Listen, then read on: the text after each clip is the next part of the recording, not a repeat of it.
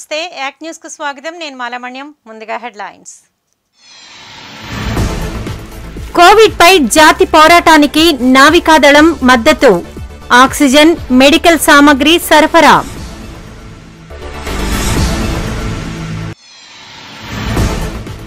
Steel plant ప్రైవేటీకరణకు వ్యతిరేకంగా కొనసాగుతున్న దీక్షలు. కార్మిక సంఘాల సంఘీభావం.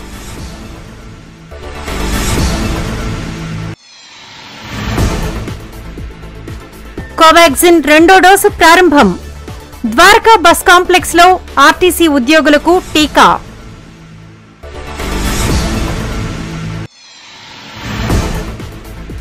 అంతర్జిల్లా రాష్ట్ర ప్రయాణాలకు ఈ పాస్లు జారీ చేస్తున్న పోలీసు శాఖ.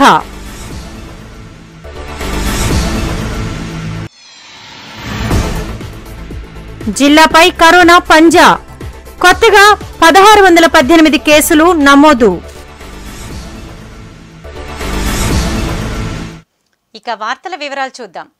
కోవిడ్ నైన్టీన్కి వ్యతిరేకంగా దేశం చేస్తున్న పోరాటానికి మద్దతుగా కొనసాగుతున్న ఆపరేషన్ సముద్ర సేతు టూలో భాగంగా కోవిడ్ పరిస్థితిని ఎదుర్కోవడంతో పాటు పౌర పరిపాలనకు సహాయం చేయడానికి భారత నావికాదళం నడుం బిగించింది. వివిధ దేశాల నుంచి జలమార్గంలో ఆక్సిజన్ కంటైనర్లు మరియు వైద్య పరికరాలను తీసుకువచ్చేందుకు తమ యుద్ధ ఓడలను పంపింది. ఈ క్రమంలోనే మే ఐదున సింగపూర్ నుండి బయలుదేరిన ఐఎన్ఎస్ ఐరావత్ సోమవారం ఉదయం ఎనిమిది క్రయోజెనిక్ ఆక్సిజన్ ట్యాంకులు మూడు వేల ఎనిమిది వందల తొంభై ఎనిమిది ఆక్సిజన్ సిలిండర్లతో సహా ఇతర అవసరమైన కోవిడ్ వైద్య పరికరాలతో విశాఖపట్నం చేరుకుంది. వచ్చిన సామగ్రి భారతదేశం యొక్క హై కమిషన్ సమన్వయంతో వివిధ ఏజెన్సీల ద్వారా పొందినట్లు ప్రకటనలో తెలిపారు. మన తూర్పు నౌకాదళం తాలూకా షిప్ సింగపూర్ నుంచి వైజాగ్ వచ్చింది. కోవిడ్ రిలీఫ్ ఆపరేషన్స్ భాగంగా Indian navy Samudra Setu operation అనేసి స్టార్ట్ చేసింది.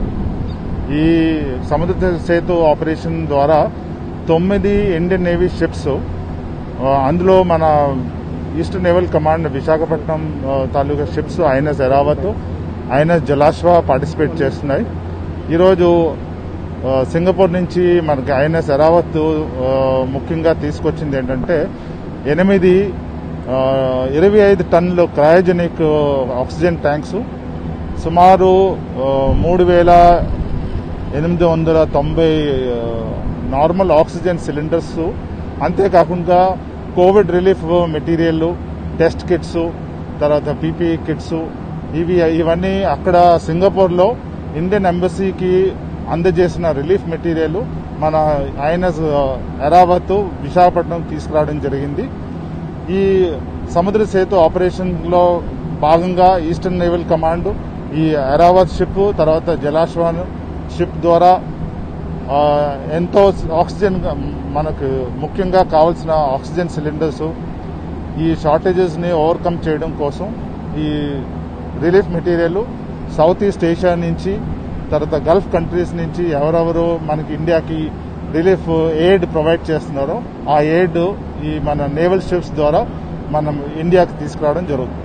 వైజాగ్ నుంచి ఎరావత్ తర్వాత జలాశ్వ పార్టిసిపేట్ చేస్తున్నాయి.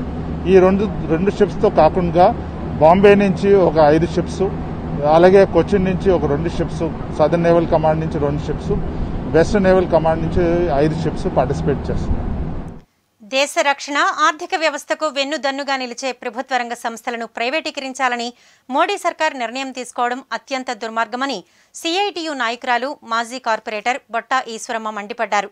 స్టీల్ ప్లాంట్ ప్రైవేటీకరణకు వ్యతిరేకంగా జీవీఎంసీ గాంధీ పార్క్ వద్ద కొనసాగుతున్న దీక్షా శిబిరానికి ఆమె సంఘీభావం తెలిపారు.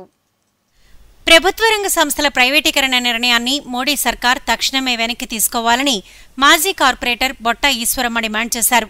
లేకుంటే ప్రజాగ్రహానికి గురికాక తప్పదని హెచ్చరించారు. స్టీల్ ప్లాంట్ పరిరక్షణ డిమాండ్తో విశాఖ అఖిలపక్ష కార్మిక ప్రజా సంఘాల జేఏసీ జీవీఎంసీ గాంధీ పార్క్లో చేపట్టిన రిలే నిరాహార దీక్షలు నలభైవ రోజు కొనసాగాయి. ఈ సందర్భంగా ఆమె మాట్లాడారు.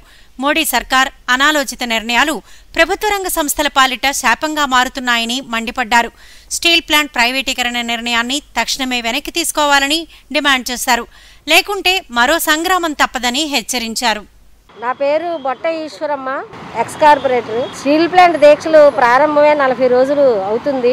స్టీల్ ప్లాంట్ను పరిరక్షించుకోవాలని చెప్పి ఎల్ఐసీలు బ్యాంకులు జాతీయ సంస్థలు ఏవైతే ఉన్నాయో వాటిలన్నిటిని కూడా కాపాడుకోవాలని చెప్పి నలభై రోజులుగా కూడా ఈ దీక్షలు ఈ దీక్షా శిబిరంలో సాగుతున్నాయి.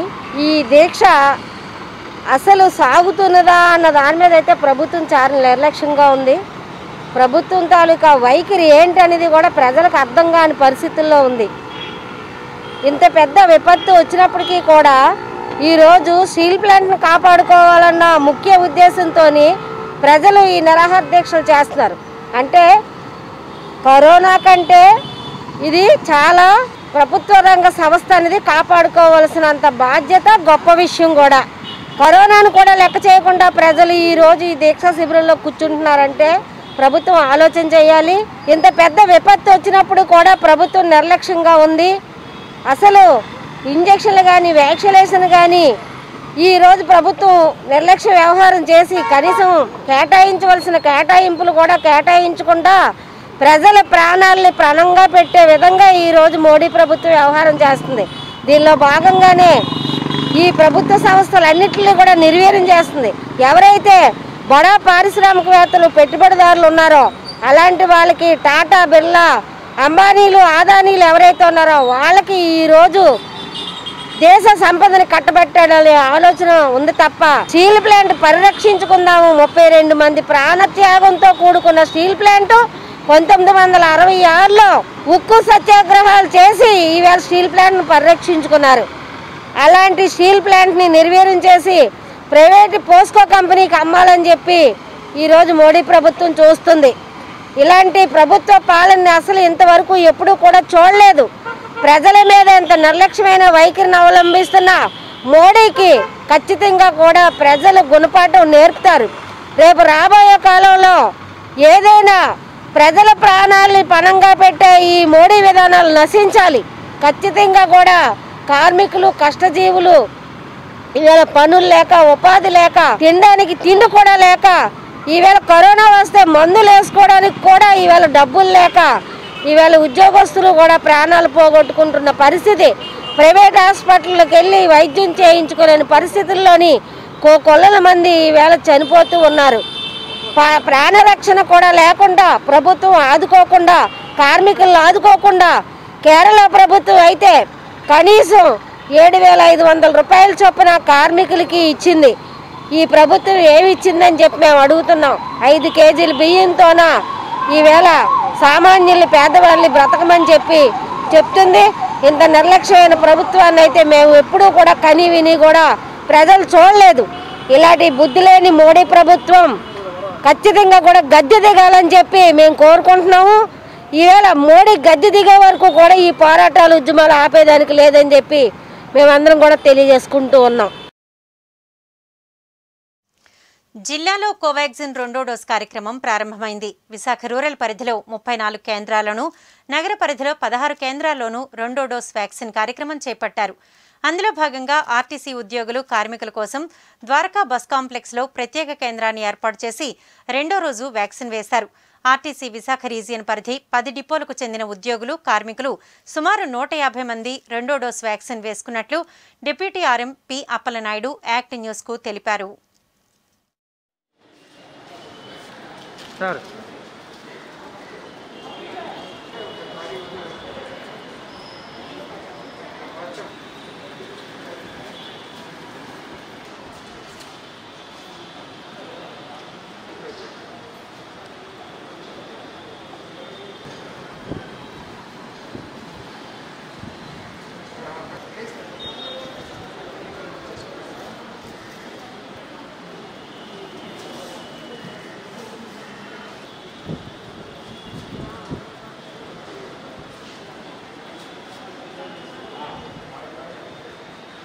నమస్కారం అండి నేను B. Appalanaidu deputy chief mechanical engineer Visakhapatnam APSRTC అండి.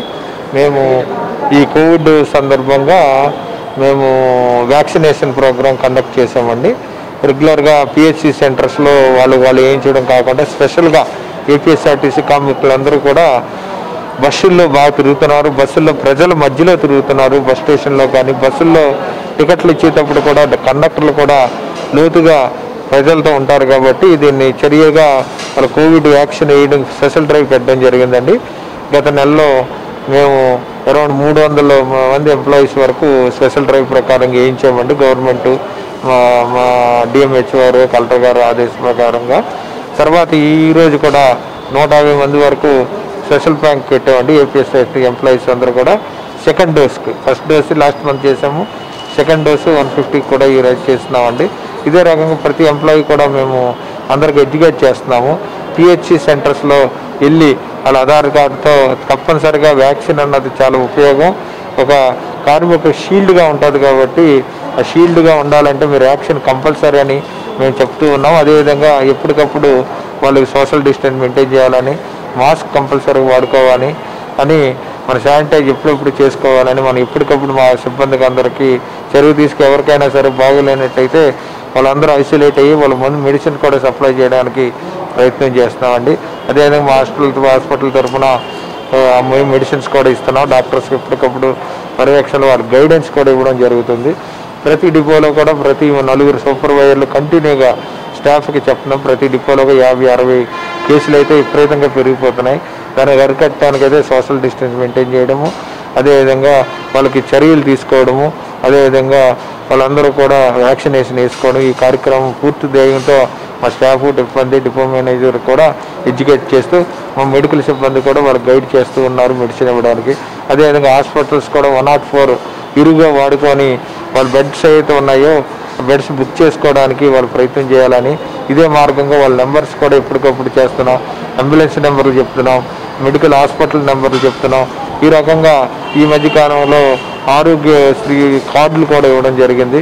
ఆ కార్డులు కూడా వాళ్ళు డౌన్లోడ్ చేసుకొని వాళ్ళు ఆరోగ్యశ్రీ హాస్పిటల్లో అప్రోచ్ అయ్యి వాళ్ళకి ఫెసిలిటీ కలుగు చేసుకోవాల్సిందిగా ఏపీఎస్ఆర్టీసీ తరఫున మేము అందరం కూడా మా స్టాఫ్కి ఎప్పటికప్పుడు ఎడ్యుకేట్ చేస్తూ వాట్సాప్లు పెడుతూ ఎప్పటికప్పుడు వాళ్ళు నిర్ణయాలు తీసుకొని వాళ్ళు గైడ్ చేస్తున్నాం. వాళ్ళ ఫోన్ నెంబర్లు కూడా ఇస్తున్నాం. ఈ రకంగా మా సిబ్బంది అందరూ కూడా కోవిడ్ దూరాన్ని బాధ పడకుండా చర్యలు తీసుకున్నప్పటికీ కూడా అక్కడక్కడ కేసులు అయితే పెరుగుతూ వస్తున్నాయి. కానీ చర్యకి కూడా మేమందరం కూడా ఐసోలేట్ అయిపోయి వేరే ఒకరిద్దరికి అయితే సీరియస్ చేయడం జరిగింది. కొందరికి ప్రాణాలు కూడా కొంతమంది పోవడం కూడా జరిగింది. దీనికి ముఖ్యంగా ఐసోలేట్ ఇమీడియట్గా రాగానే సిమ్టమ్స్ కనిపించగానే చిన్న జ్వరం రాగానే ఇమీడియట్గా మెడిసిన్ వాడుకోవాలి డాక్టర్ సంప్రదించాలని ఇప్పటికప్పుడు వారికి చెప్తూ ఉన్నామండి సూచనలు. డిపోమేజర్ కూడా కంటిన్యూగా ఫాలో అవుతున్నారు.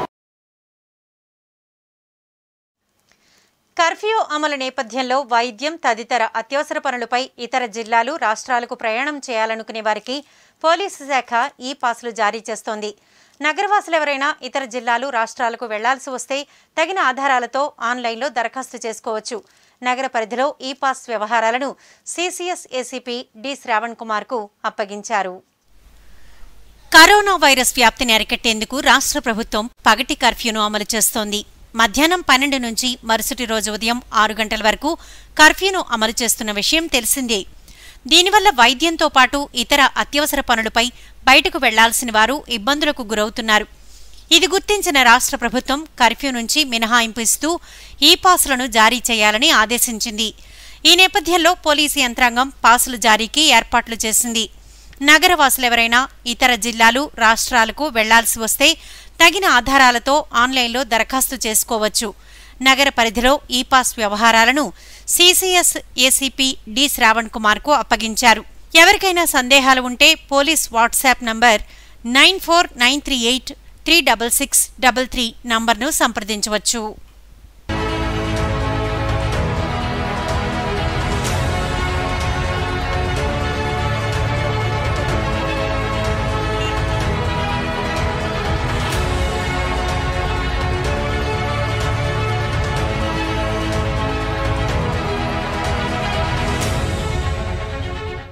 జిల్లాలో కరోనా ఉధృతి తగ్గటం లేదు. కరోనా కట్టడికి అధికారులు చర్యలు తీసుకున్నప్పటికీ ప్రజలు తగు జాగ్రత్తలు పాటించడం లేదు.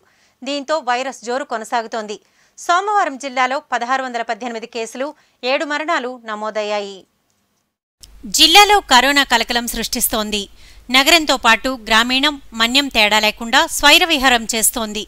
సోమవారము జోరు తగ్గలేదు. కొత్తగా పదహారు వందల పద్దెనిమిది కేసులు నమోదయ్యాయి. వీటితో మొత్తం కేసుల సంఖ్య తొంభై తొమ్మిది వేల తొమ్మిది వందల నలభై తొమ్మిదికి చేరింది. ఇందులో డెబ్బై తొమ్మిది వేల నాలుగు వందల తొంభై మంది కోలుకోగా మరో పంతొమ్మిది వేల ఏడు వందల యాభై ఆరు మంది ప్రభుత్వ ప్రైవేట్ ఆసుపత్రులు ఇళ్ళలో ఉండి చికిత్స పొందుతున్నారు. ఇదిలా ఉండగా కోవిడ్ బారిన పడి చికిత్స పొందుతూ మరో తొమ్మిది మంది మృతి చెందారు. వీరితో కలిపి కోవిడ్ మరణాల సంఖ్య ఏడు వందల ఏడుకు చేరింది. పాజిటివ్ కేసులు మరణాల సంఖ్య భారీగా పెరుగుతున్న నేపథ్యంలో ప్రజలంతా మరింత అప్రమత్తంగా ఉండాలని వైద్యులు సూచిస్తున్నారు. సింహగిరిపై చందనం అరగదీత కార్యక్రమం కొనసాగుతోంది. నాలుగవ రోజైన సోమవారం సుమారు ఇరవై ఎనిమిది కిలోల చందనాన్ని సిబ్బంది అరగదీశారు. అరగదీసిన చందనాన్ని భాండాగారంలో భద్రపరిచారు. వైశాఖ శుద్ధ తదియను పురస్కరించుకుని సింహగిరిపై ఈ నెల పద్నాలుగున చందనోత్సవం నిర్వహించనున్నారు.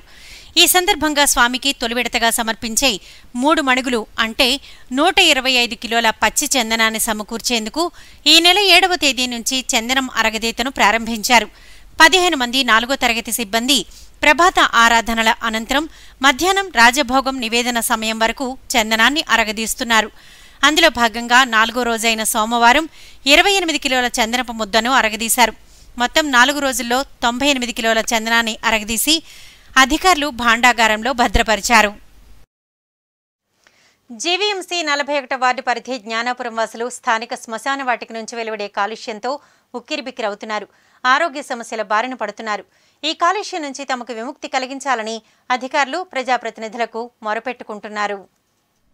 జిల్లాపై కరోనా పంజా విసురుతోంది. ప్రతిరోజు పలువురిని బలి తీసుకుంటోంది.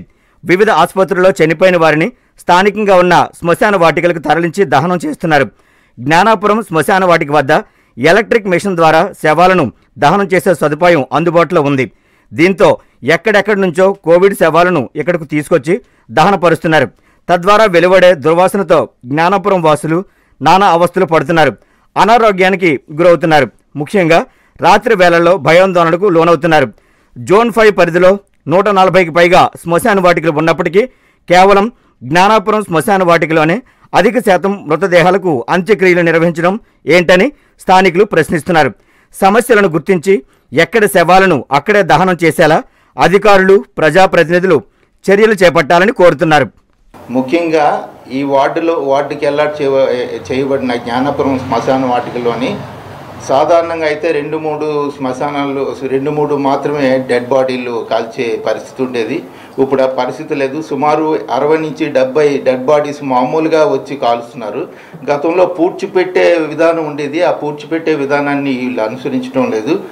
ఇప్పుడు కమిషనర్ గారు అయితే మూడు వేలు మాత్రమే దహన సంస్కారాలకి పే చేయమని చెప్పి ఉన్నారు. కానీ ఇక్కడ మీ పరిస్థితి చూసినట్టయితే ఇరవై నుంచి ఇరవై ఐదు వేలు వరకు ఒక్కొక్క ఒక్కొక్క దహనానికి వీళ్ళు వసూలు చేసే ఏర్పాటు మనం చూస్తున్నాం అక్కడ. అదేవిధంగా ఈ అరవై నుంచి డెబ్బై సాధారణంగా కట్టెలతో దహనం కా కాల్చింది కాకుండా ఎలక్ట్రికల్ క్రిమటోరియం అనేది పెట్టారండి. ఆ ఎలక్ట్రికల్ క్రిమటోరియం ఇస్కో కంపెనీ వారు సప్లై చేశారు. ఇటీవలే దాన్ని ఇన్స్టాల్ చేయడం జరిగింది. ఒక రెండు మూడు రోజుల నుంచి జ్ఞానపరవాసులు దాంట్లో నుంచి డైరెక్ట్గా వచ్చిన నల్ల పొగ. అంటే డెడ్ బాడీ నుంచి వచ్చిన ప్రెసిపిటెంట్స్ డైరెక్ట్గా ఈ బ్యాఫిల్ ప్లేట్స్ కానీ స్క్రబ్బర్స్ కానీ ఏ విధమైన స్క్రబ్బర్ సిస్టమ్ ఉపయోగించుకుంటా దాని ఈ ప్రెసిపిటెంట్ ట్రీట్మెంట్ కూడా వాళ్ళు చేయకుండా డైరెక్ట్గా డెడ్ బాడీ రెసిడ్యుయల్స్ ఊరి మీదకి వదిలేస్తున్నారు. దురదృష్టవశాత్తు మనకి ఇక్కడ వచ్చినట్టయితే మనం చూసినట్టయితే నార్త్ వెస్ట్ విండ్స్ మాకు జ్ఞానాపురంకి డైరెక్ట్గా వస్తున్నాయి. ఆ నార్త్ వెస్ట్ విండ్ వల్ల ఆ పైపు హైట్ తక్కువ ఉన్నందువల్ల ఆ హ- ఆ- స్మోక్ స్మోకు ఆ రెసిడ్యువల్స్ అన్నీ తిన్నగా జ్ఞానాపురం వాసు వాసుల మీదకి వచ్చేస్తున్నాయి. అదేవిధంగా జోన్ ఫోర్లో చూసినట్టయితే ముప్పై ఐదు క్రిమటోరియంస్ ఉన్నాయి. ముప్పై ఐదు క్రిమటోరియంస్లోని ఈక్వల్గా డిస్ట్రిబ్యూట్ చేయకుండా కేవలం నలభై ఒకటో వార్డులోని శవాలన్నీ తెచ్చి పడేస్తున్నారు. అదేవిధంగా ఛత్తీస్గఢ్ ఒరిస్సా ఈ పక్క రాష్ట్రాల నుంచి వచ్చిన డెడ్ బాడీస్ కేజీహెచ్కి ఇది దగ్గరగా ఉన్నందువల్ల ఈ మాఫియా వీళ్ళందరికీ ఏంటంటే ఇది ఒక అడ్డాగా మారిపోయింది. వాళ్ళందరూ తీసుకొ వచ్చి సవాలు ఇక్కడే కాల్స్తున్నారు ఇక్కడ సవాల్ మాఫియా కూడా ఉన్న ఉన్న దాంట్లోనే ఈ మనకి తప్పు లేదు. ఎందుకంటే ఇది జరుగుతుంది. దయచేసి జీవీఎంసీ అధికారులు దీని మీద అదేవిధంగా డిస్ట్రిక్ట్ మ్యాజిస్ట్రేట్ వారు దీని మీద స్పందించి దీని మీద తగు చర్యలు చే తీసుకోవాల్సిందిగా జ్ఞానపురం వార్డు ఫార్టీ వన్ నుంచి కోరుకుంటున్నాను. కరోనా కట్టడికి ప్రభుత్వం పగటి కర్ఫ్యూ అమలు చేస్తోంది.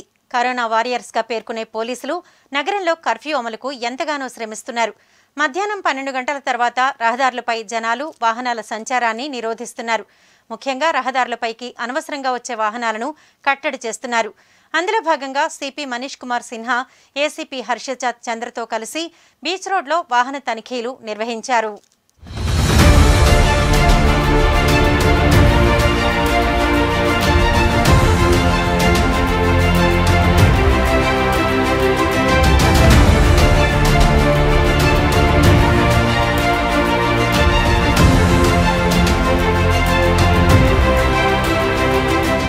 కరోనా వైరస్ వ్యాప్తి నియంత్రణకు ప్రభుత్వం పగటిపూట కర్ఫ్యూను అమలు చేస్తూ వస్తోంది. కర్ఫ్యూ అమలులో భాగంగా ఉదయం ఆరు గంటల నుంచి మధ్యాహ్నం పన్నెండు గంటల వరకు ప్రజలు తమ అవసరాలు తీర్చుకునేందుకు అవకాశం ఇచ్చింది. మధ్యాహ్నం పన్నెండు గంటల తర్వాత అత్యవసరం అయితే తప్ప ఎవరూ రోడ్ల మీదకు రాకూడదు. ముఖ్యంగా వాహనదారులు రోడ్డు ఎక్కకూడదు. ఇలా సంచరించే వాహనాలను పోలీసులు తనిఖీ చేస్తున్నారు. దీనిలో భాగంగా నగర police commissioner Manish Kumar Sinha RK బీచ్లోని ACP Harshita చంద్రతో కలిసి వాహనాలను తనిఖీ చేశారు. కరోనా నిబంధనలను అలాగే కర్ఫ్యూ ఆంక్షలను అతిక్రమించి నడిపే వాహనదారులపైన కేసులు కూడా నమోదు చేస్తున్నారు. అత్యవసర పరిస్థితుల మీద వెళ్ళే వాహనదారులకు మినహాయింపునిచ్చారు. అత్యవసరం అయితే తప్ప మధ్యాహ్నం పన్నెండు గంటల తర్వాత ఎవరూ రోడ్ల మీదకు రావద్దని ACP Harshita Chandra ACT news ద్వారా సూచించారు. స్వీయ నిర్బంధమే కరోనా కట్టడికి శ్రీరామ రక్ష అని పేర్కొన్నారు.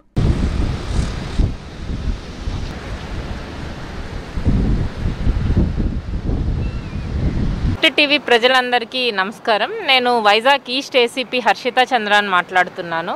సో ఈ కర్ఫ్యూ ఇంప్లిమెంటేషన్ అన్నది స్టేట్ గవర్నమెంట్ ఆర్డర్స్ ప్రకారం ఆఫ్టర్నూన్ ట్వెల్వ్ ఓ క్లాక్ నుంచి నెక్స్ట్ డే మార్నింగ్ సిక్స్ వరకు ఇంప్లిమెంట్ చేస్తున్నాము. దీనికి సంబంధించి పోలీస్ డిపార్ట్మెంట్లో ఉన్న అన్ని వింగ్స్ రోడ్ మీద ఉండి అన్ని ఇంప్లిమెంట్ చేయడానికి సహకరిస్తున్నాయి. అండ్ మెయిన్ uh, మేము కోరుకునేది ఏమి అంటే పబ్లిక్ కూడా వాళ్ళకి అవసరం అయితేనే బయటికి రావాలని చెప్పి అడుగుతున్నాము. Uh, మార్నింగ్ సిక్స్ నుంచి ఆఫ్టర్నూన్ ట్వెల్వ్ వరకు ఏవైనా ఎమర్జెన్సీ ఉంటే అవి తీసుకొని ట్వెల్వ్ కల్లా మీ ఇంటికి రీచ్ అయిపోండి. అండ్ షాప్స్ కూడా లెవెన్ థర్టీ కల్లా మీరు క్లోజ్ చేసేసి ట్వెల్వ్ కల్లా షాప్ ఓనర్స్ తర్వాత షాప్లో పనిచేస్తున్న స్టాఫ్ అందరూ కూడా వాళ్ళ ఇళ్ళకి ట్వెల్వ్ లోపల చేరేలాగా ప్లాన్ చేసుకోవాలని మేము అడుగుతున్నాము. ట్వెల్వ్ నుంచి స్ట్రిక్ట్ కంప్లిమె స్ట్రిక్ట్ కర్ఫ్యూ ఇంప్లిమెంటేషన్కి అందరూ సహకారము కావాలి. తర్వాత ఈవినింగ్ అయ్యేసరికి కొంచెం చల్లబడిన తర్వాత యూత్ అది బయటికి వస్తున్నారు మెయిన్గా యూత్కి వ్యాక్సిన్ అవ్వకపోవడం ఒక రీజన్ ప్లస్ వాళ్ళే ఈ సెకండ్ వేవ్ కరోనాకి చాలా ఎఫెక్ట్ అయిపోతున్నారు. సో వాళ్ళ బంగారు భవితాన్ని పాడు చేసుకోవద్దని చెప్పి కోరుతున్నాము. ఎట్టి ఎట్టి పరిస్థితుల్లో అనవసరంగా సరదా కోసం బయటికి రాకండి. అండ్ షాప్స్ కూడా పోలీస్ వారు వస్తేనే క్లోజ్ చేయడం అలా కాకుండా మీకు మీరు క్లోజ్గా పెట్టుకోండి. ఎక్కడైనా ఒక షాప్ ఓపెన్లో ఉంది అని ఎవరికన్నా ప్రజలకు తెలిస్తే ఖచ్చితంగా ఆ షాప్లో ఏదో ఈ టైంలో అయితే వాళ్ళు ఓపెన్ చేసి ఉంటారు అని చెప్పి వస్తారు. జనాలకి షాప్స్ ఎక్కడ ఓపెన్ చేయలేదు అన్న మెసేజ్ వెళ్ళింది అంటే ఎవరు బయటికి కూడా రారు.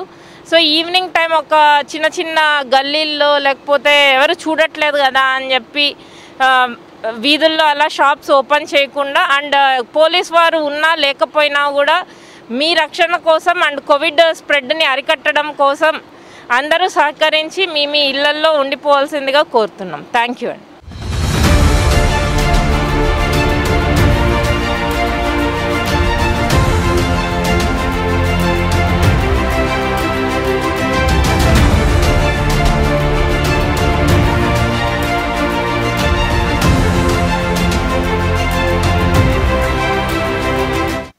కోవిడ్ సెకండ్ వేవ్ ఉధృతి కారణంగా సింహగిరిపై ఈ నెల పద్నాలుగున జరగాల్సిన చందనోత్సవాన్ని ఏకాంతంగానే నిర్వహించనున్నారు. ఈ నేపథ్యంలో ఈ నెల పదిహేను వరకు భక్తులకు స్వామివారి దర్శనాలను నిలిపివేశారు. దీంతో భక్తులతో అనునిత్యం కళకళలాడే సింహగిరి మాడవీధులన్నీ నిర్మానుష్యంగా మారిపోయాయి. రాజగోపురం తలుపులు కూడా మూసేశారు. దర్శనాలు నిలిపివేసినప్పటికీ ఈ నెల పదిహేను వరకు ఉదయం నుంచి రాత్రి వరకు స్వామివారికి నిత్య పూజలు సేవలు యథాతథంగా జరుగుతాయి.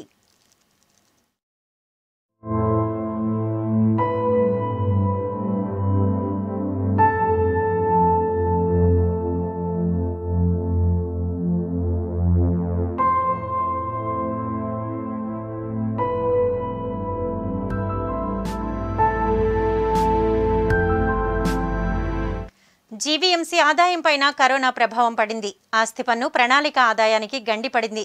నిర్మాణ రంగం కుదేలవడంతో భవనాల నిర్మాణాలకు ప్లాన్ల మంజూరు ద్వారా సమకూరే ఆదాయం తగ్గిపోతోంది. మహావిశాఖ నగరపాలక సంస్థ ఆదాయంపై కరోనా మరోసారి తన ప్రభావం చూపిస్తోంది. గతేడాది మార్చిలో లాక్డౌన్ అమలు చేయడంతో రెండు వేల ఇరవై ఇరవై ఒకటి ఆర్థిక సంవత్సరానికి మూడు వందల ముప్పై కోట్ల ఆస్తి పన్ను ఆదాయానికి గాను రెండు వందల ముప్పై కోట్లు మాత్రమే సమకూరింది. వైరస్ ప్రభావం సెప్టెంబర్లో తగ్గినప్పటికీ రెవెన్యూ సిబ్బంది స్థానిక సంస్థల ఎన్నికల విధుల్లో నిమగ్నం కావడంతో సుమారు తొంభై కోట్ల మేర బకాయి ఉండిపోయింది. కాగా రెండు వేల ఇరవై ఒకటి ఇరవై రెండు ఆర్థిక సంవత్సరం ఘనంగా ప్రారంభమైంది. ఐదు శాతం రాయితీ పథకానికి అనూహ్య స్పందన లభించింది. అరవై ఐదు కోట్ల ఆదాయం వచ్చింది. కాగా వైరస్ ఉధృతి నేపథ్యంలో ప్రస్తుతం కర్ఫ్యూ అమల్లోకి రావడంతో దాని ప్రభావం సామాన్య మధ్యతరగతి ప్రజల ఆదాయంపైన పడింది. ఇప్పటికే ఆర్థిక ఇబ్బందులు ఎదుర్కొంటున్న జీవీఎంసీకి ప్రస్తుత పరిస్థితి మరింత ఇబ్బందికరంగా తయారైంది. జిల్లాలో కరోనా కేసులు గణనీయంగా పెరుగుతున్నాయి. అందుకు తగ్గ ఆక్సిజన్ పడకలు అందుబాటులో లేకపోవడంతో ఎందరో ప్రాణాలు గాలిలో కలిసిపోతున్నాయి. ఈ నేపథ్యంలో జిల్లా యంత్రాంగం ఆక్సిజన్ బెడ్లతో కూడిన కోవిడ్ చికిత్సా కేంద్రాల ఏర్పాటుపై దృష్టి సారించింది. జిల్లాలో కరోనా కేసులు మరణాలు రోజు రోజుకు పెరిగిపోతున్నాయి. పెరుగుతున్న కేసులకు వైద్యం అందించేందుకు సరిపడా ఆక్సిజన్ బెడ్లు అందుబాటులో లేవు. దీంతో సకాలంలో ఆక్సిజన్ అందక పలువురు మృత్యువాత పడుతున్నారు. ఈ నేపథ్యంలో అదనపు ఆక్సిజన్ పడకలతో కూడిన కోవిడ్ కేంద్రాల ఏర్పాటుపై ప్రభుత్వ ఆదేశాల మేరకు జిల్లా అధికార యంత్రాంగం దృష్టిని సారించింది. దీనిలో భాగంగా ప్రభుత్వ ప్రాంతీయ కంటి ఆసుపత్రిలో ఆక్సిజన్ పడకలు ఏర్పాటు చేస్తున్నారు. కోవిడ్ చికిత్సకు అనుగుణంగా ఆసుపత్రిలో పలు మార్పులు చేశారు. త్వరలోనే తమ ఆసుపత్రి ద్వారా కరోనా రోగులకు ఆక్సిజన్ వైద్యం అందిస్తున్నట్లు ఆసుపత్రి సూపరింటెండెంట్ డాక్టర్ రాజేశ్వరరావు ఏసీటీ న్యూస్కు వెల్లడించారు. మన గవర్నమెంట్ వారు ప్రస్తుతానికి ఉన్నటువంటి కింగ్ జార్జ్ హాస్పిటల్ హింస కాకుండా మిగతా హాస్పిటల్స్లో కూడా ఈ కరోనా వ్యా- వ్యాధి ఉన్నవారికి చాలామందికి ఆక్సిజన్ లెవెల్స్ పడిపోవడం వల్ల వాళ్ళు ప్రాణాలు కోల్పోవడం బాగా నిస్సాయ స్థితిలోకి వెళ్ళడం జరుగుతూ ఉంది. సో ఆ ఆక్సిజన్ థెరపీ కోసం అని చెప్పి మిగతా హాస్పిటల్స్ కూడా ఆక్సిజన్ థెరపీ అంటే ఆక్సిజన్ సప్లై ఇచ్చే ఏర్పాటు చేసి ఉన్నారు. అందులో భాగంగానే మా ఈ గవర్నమెంట్ రీజనల్ ఐ హాస్పిటల్లో కలెక్టర్ గారి ఆదేశాల మేరకు ఒక యాభై బెడ్లను అంటే యాభై పడకలను మేము రెడీ చేసి ఉంచుతున్నాము. అయితే ఈ పనులన్నీ శరవేగంగా అవుతున్నాయి. వీలైతే త్వరలో దగ్గరలోనే అడ్మిషన్స్ స్టార్ట్ చేస్తాము. దానికి కావాల్సినటువంటి ఎక్విప్మెంట్ ఇన్ఫ్రాస్ట్రక్చరు మిగతా అదర్ మ్యాన్ పవర్ అన్నీ రెడీ చేస్తున్నాము. ఆ రెడీ చేసిన తర్వాత అడ్మిషన్స్ స్టార్ట్ చేస్తాము. అయితే ఈ అడ్మిషన్స్ అన్నవన్నీ కేవలం డైరెక్ట్గా జరగవు. ఇవన్నీ కూడా through one nought four ambulance వారి దగ్గర నుంచి మాకు సందేశం వస్తుంది. ఆ రిపోర్టు బట్టి ఇక్కడ అడ్మిషన్ చేస్తాం. బులెటిన్ ముగించే ముందు హెడ్లైన్స్ మరోసారి. కోవిడ్ పై జాతి పోరాటానికి నావికాదళం మద్దతు. ఆక్సిజన్ మెడికల్ సామగ్రి సరఫరా.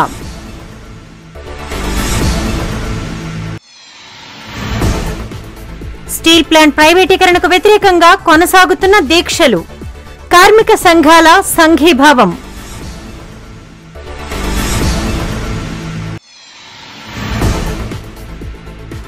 కోవాక్సిన్ రెండో డోసు ప్రారంభం. ద్వారకా బస్ కాంప్లెక్స్లో ఆర్టీసీ ఉద్యోగులకు టీకా.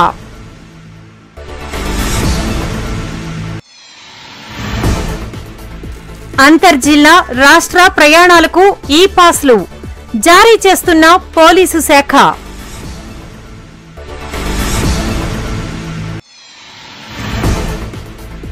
జిల్లాపై కరోనా పంజా. కొత్తగా పదహారు వందల పద్దెనిమిది కేసులు నమోదు.